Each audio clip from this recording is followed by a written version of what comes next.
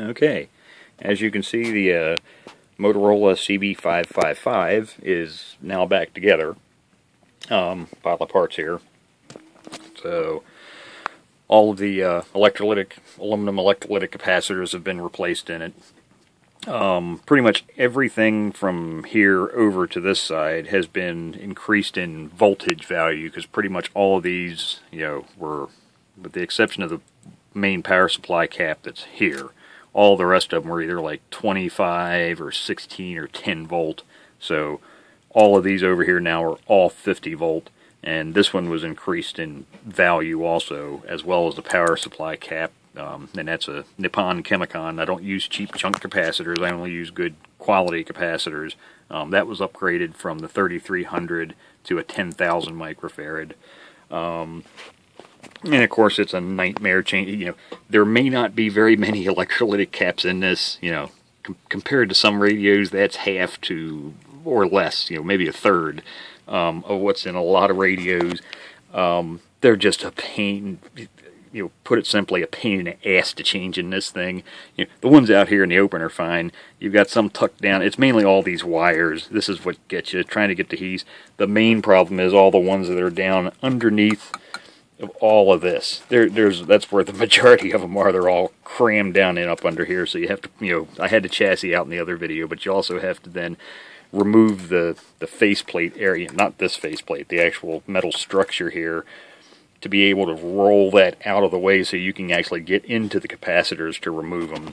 Um, other things done, I guess you can see there's a there's no longer a gigantic, huge gaping hole here. I just took a piece of uh, double-sided uh, circuit board, you know, copper clad. Um, that's just tin. That's why it doesn't look like copper. It's been tinned on both sides before I stuck it on there.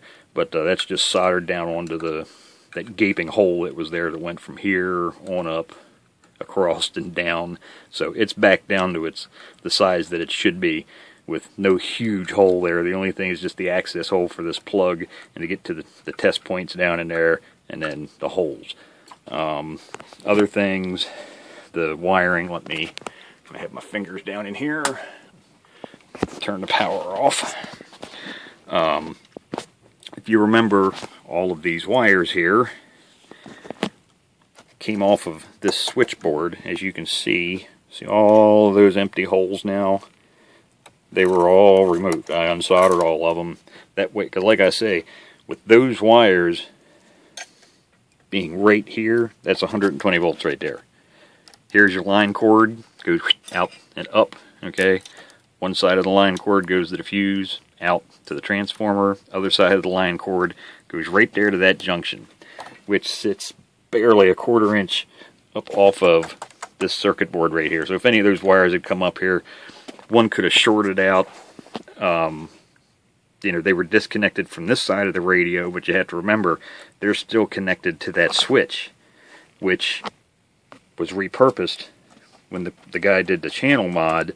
So if any of those had shorted out into the wires that were, like these green and yellow wires here the guy used for the channel mod, and the other pairs that go down on the underside there had shorted out, it could have energized this chassis. So just it, bad implementation, really bad. And, you know, even worse was that no reason to be using tin snips to whack holes in those cans. Like I said, it only took me a. I already had the chassis pulled. It took me a minute and a half maybe to get this can out, unsoldered the capacitor, unsoldered the ground wire, with the radio up with the desoldering, you know, with a proper, you know, desoldering gun.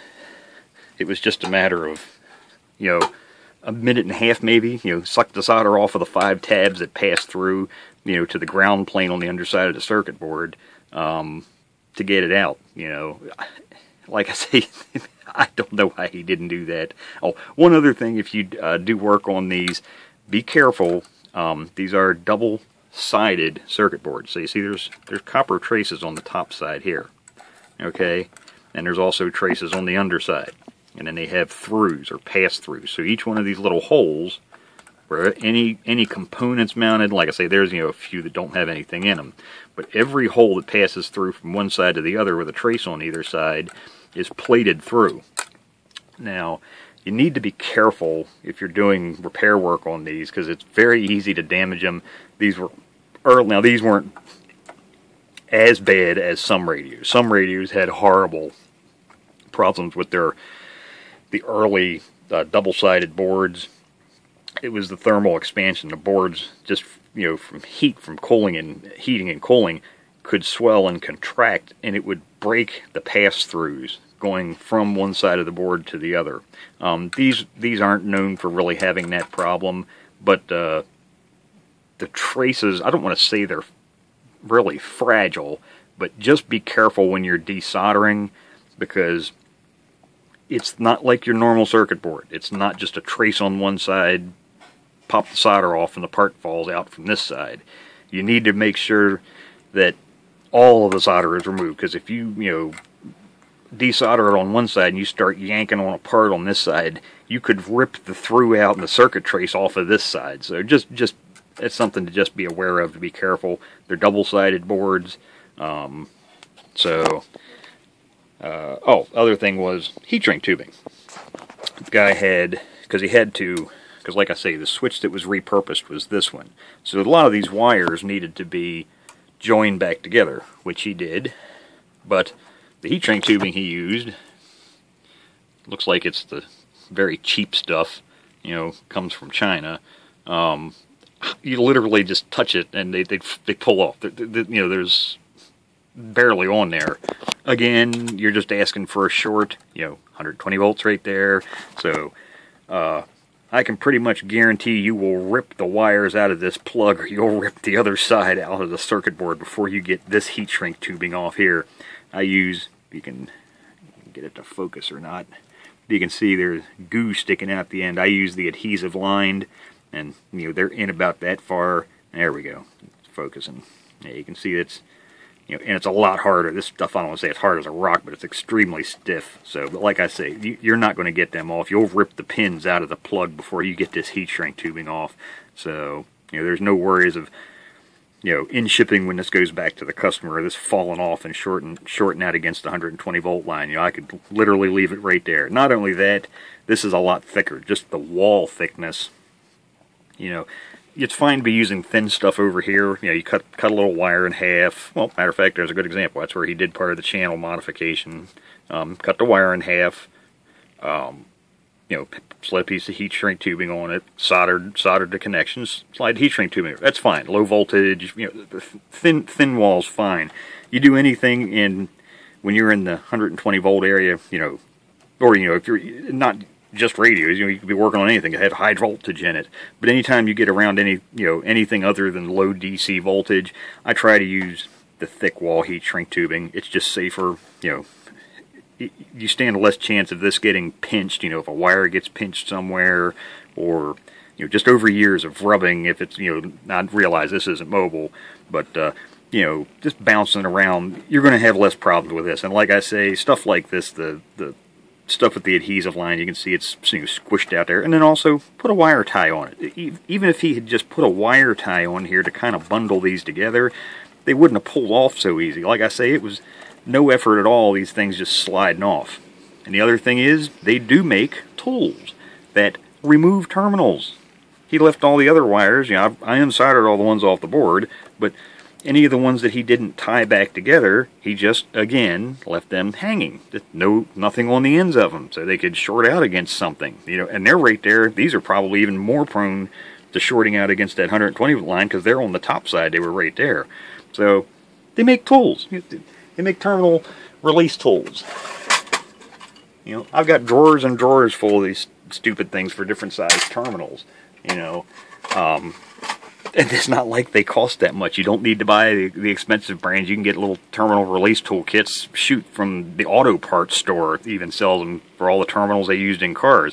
These are just the you know round push-in pins.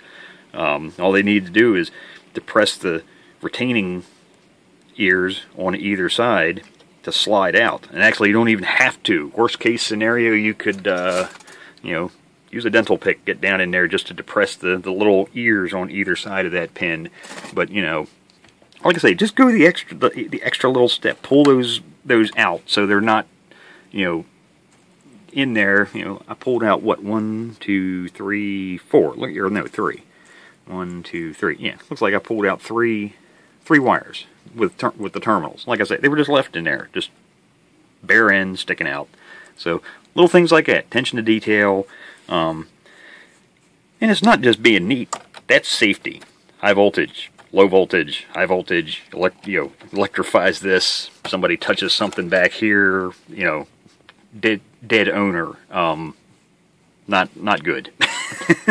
Don't know how else to put it. on. you try and make it ba baby simple and speak, because like I say, there's no call for that, and really no call for this and a lot of the other stuff that was done here. So um, I'll get the alignment done, get it put back together. I'll dig out one of one of the 550s just to show size comparison and how similar they are. Because like I say, they use it basically from here over. It's the same. The only difference is what's over here. So I'll post a, I guess now a third video after this one.